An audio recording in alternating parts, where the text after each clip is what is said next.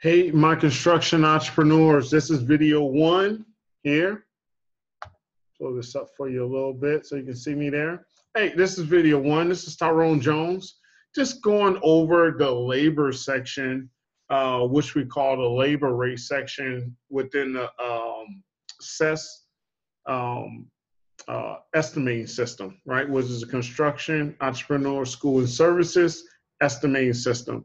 And this is one of the, the, the, the, larger components with our estimating system that allows you to have versatility with selecting labors, uh, uh, adding in names for, for particular labors, or a title description for a labor.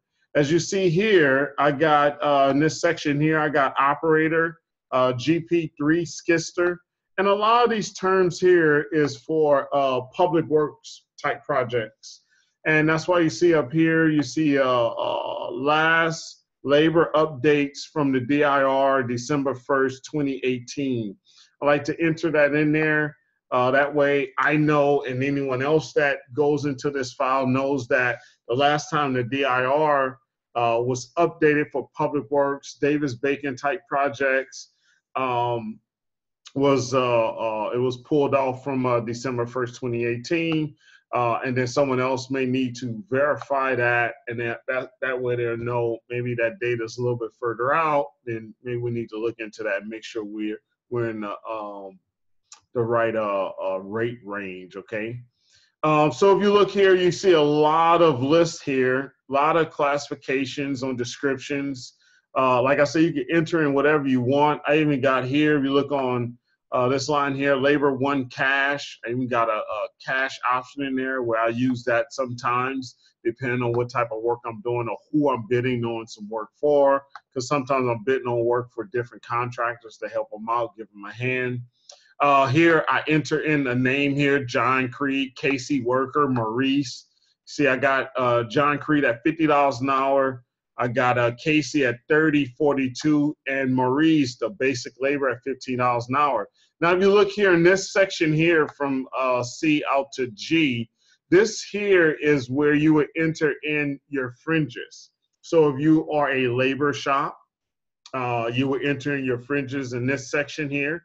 If that be sometimes, uh, depending on what, what union you're with, some of the fringes selection, like the training, the vacation, the pension, is based on the percentage, uh, which can easily be included in within these sales and locked in, and uh, that way no one can actually change them or um, or you have to be authorized to change them. We can set that up for you, not a problem. Also, too, if you notice here, there's some blank areas here that don't have any numbers in there that's because we're not that that particular position or that particular labor doesn't uh, or that job site doesn't require us to add frictions fric, uh, fringes into this section here. So that's why you see it comes out as a total as whatever is here okay?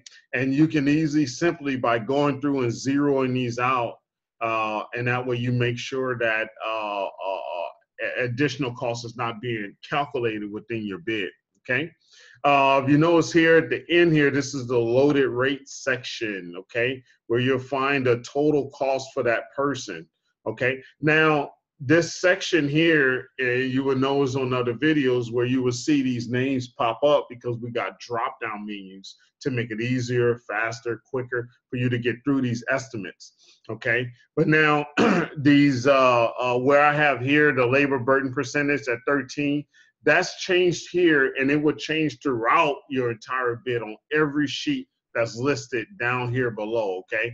That means it will reflect on every line, insert line item four, it will reflect on each one down there, okay? Uh, overhead at 13%. Uh, that will not reflect on each sheet, nor will the profit percentage reflect on each sheet uh, you would change that on a different sheet, which we will show in other videos. Uh, here, like I said, you can just enter in wh whomever you want. Uh, labor one, right? You can enter that into that section.